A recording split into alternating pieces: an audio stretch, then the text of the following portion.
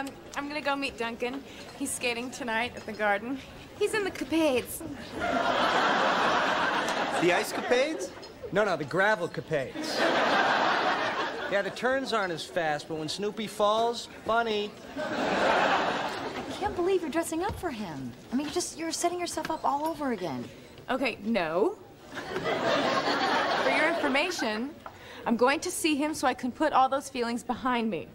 Okay, and the reason I'm dressed like this is because I think it's nice to look nice for your gay husband. Oh, darn it, we're all out of milk.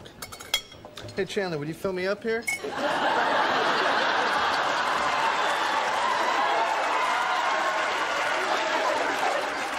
Oh, I see, I see, because of the third nipple thing.